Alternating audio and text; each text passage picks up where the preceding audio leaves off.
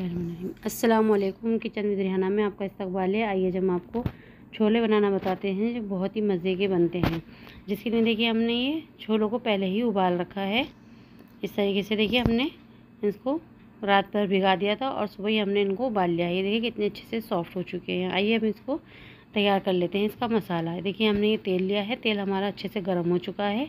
अब इसके अंदर हम डालेंगे आधा टी स्पून ज़ीरा और थोड़ी सी हींग। ये देखिए, हींग से इसकी खुशबू बहुत अच्छी आती है और हाजमा भी इससे दुरुस्त रहता है। और इसके अंदर डालेंगे एक अनियन, जिसको हमने बारीक बारीक चॉप कर लिया है। ये बड़े साइज़ की अनियन थी, अगर छोटी हो तो दो ले लें आप। बस इनको हमें जो है, अच्छे से ब्राउन कर लेना है। जब तक ये ब्राउन हो रही है, तब तक हम इसका मसाला तैयार कर लेते हैं। दो टीस्पून करीब हमने लिया है धनिया पाउडर। ये देखें आप अपने हिसाब से ले सकते हैं जितनी भी ग्रेवी आपको रखनी हो। आधा टीस्पून हल्दी, एक टीस्पून लाल मिर्च, आधा टीस्पून के करीब आमचूर पाउडर और ये लिया है हमने लहसुन अदरक का पाउडर और ये आधा टीस्पून गरम मसाला। इन सब चीज़ों को पानी डाल के अच्छे से हम मिक्स कर लेंगे। मसाले की क्वांटिटी आप अपने हिसाब से कम या ज़्यादा भी कर सकते हैं। बस ये देखिए मसाला हमने घोल लिया है और इधर हमारी प्याज भी अच्छे से ये ब्राउन हो चुकी है।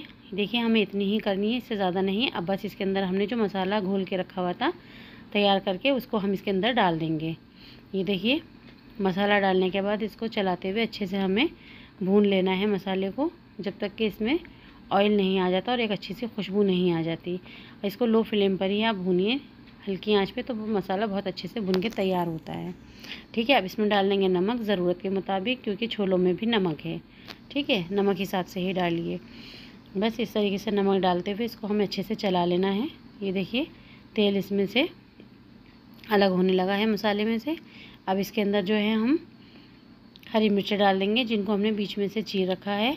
आप चाहें तो काट के भी डाल सकते हैं। हमने सात आठ हरी मिर्चें ली हैं और इसके अंदर हम डाल देंगे छोले।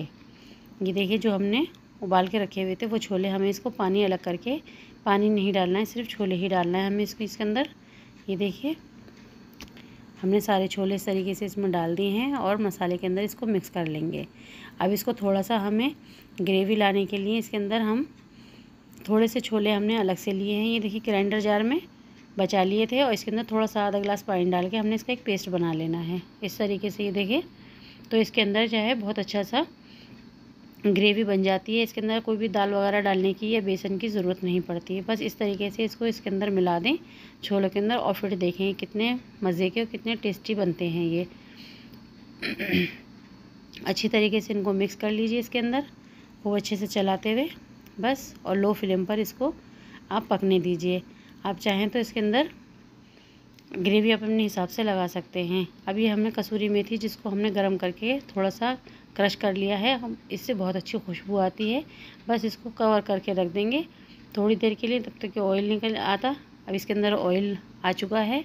बस इस तरीके से ये छोले हमारे तैयार हैं। आपको अगर हमारी ये वीडियो पसंद आती है तो प्लीज़ लाइक करें शेयर करें और हमारे चैनल किचन विद को सब्सक्राइब करना ना भूलें। दुआओं में याद रखें। आपसे फिर मुलाकात होगी एक नई वीडियो के साथ। तब तक के लिए अल्लाह हाफिज़।